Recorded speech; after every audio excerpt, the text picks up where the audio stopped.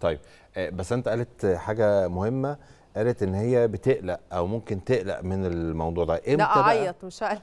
يعني ممكن أعيط. لا. عندها سلام نفسي مش طبيعي. إمتى بقى ممكن نعيط؟ ممكن نخاف زي ما بسنت كده بتقول. يعني إمتى لو وصل لإيه آه، من آه، التعامل مع هذا الطفل أو الشخص التخيلي نقول لا والله هنا بقى ممكن إن إحنا نبدأ نشوف حد نفسي يتعامل مع ال- الموضوع. يا حبذا بقى لو أم دايما عايشة نظرية المؤامرة اللي هو الواد سخن عشان هو محسود أو أنا حصل كذا عشان الولد محسود فبتلاقيها عايشة الدور ده قوي قوي.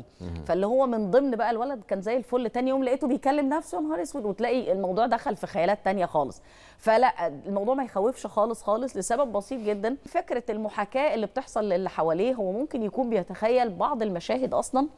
وبيعمل ليها تصور خاص بيه مبتسم زي ما أقول لك إيه ده بياكل رز مع الملائكة ده هو ده بيضحك وهو نايم. أيوه يا جماعة الحاجات دي لأن هو البوتقه المعرفية عنده كبيرة قوي عننا لأن هو دماغه فاضية. عشان كده دايما إحنا بنقول التعلم في الصغر كالنقش على الحجر فعلا صح. لأن هو دماغه فاضية فبالتالي أي حاجة بيمتصها بسهولة جدا تفضل محفورة في دماغه. فممكن تلاقي كل الأحداث اللي بتحصل عنده معكوسة بالنسبة له في العقل الباطن بشكل لا إرادي منه. دي حاجة.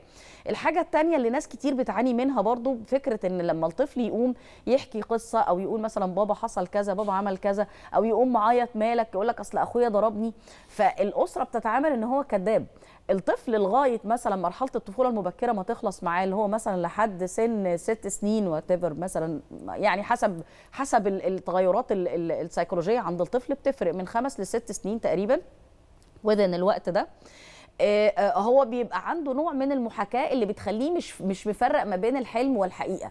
فبالتالي هو ممكن يكون بيحكي حلم وإحنا مش واخدين بالنا فاحنا انت كذاب وازاي هو أصلا ما ينفعش أصلا نقول للطفل أنت بتكذب يعني متهيألي الكلمة دي ما ينفعش يعني نوصمه بيها حتى يعني. هو مش فع... يعني هو فعلا آه. هو مش بيكذب. فدي بتبقى كارثة الحقيقة فكرة إن إن ولي الأمر مش واخد باله إن لأ هو الطفل مش بيكذب بس هو مش قادر يفرق ما بين إن ده حلم ولا دي حاجة حصلت في الحقيقة. فهو ده اللي بيفرق بالنسبة لنا. دي برضو أحد المشاكل اللي ناس كتير يا إما تقول لك ده الولد عنده هلاوس يا إما الولد مش طبيعي ولابسه جن والكلام اللي الناس فهو لا ده ولا ده الطفل ما بيفرقش بس ما بين الحلم والحقيقة لغاية وقت معين بشكل كبير قوي. فلما يقول لك أنا رحت الجنينة وكلمت الأسد والتمساح أكلته والكلام عادي جدا أي خيال. واسع. إحنا ده يعني دايما ب... ب... كنا بنسميها أكتر خيال واسع. بالظبط. دكتور أنا النهارده كأم أتصرف إزاي مع ابني؟ أنا ما عنديش آه، أي معلومة عن موضوع ال imaginary friend أو أو الصديق الخيالي.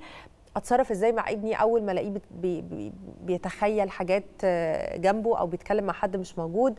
آم، يعني أنا عايزة آه، من هنا أتكلم عن الجانب النفسي للطفل كمان. إزاي أتعامل معاه من غير ما أذيه نفسيا أو أضايقه؟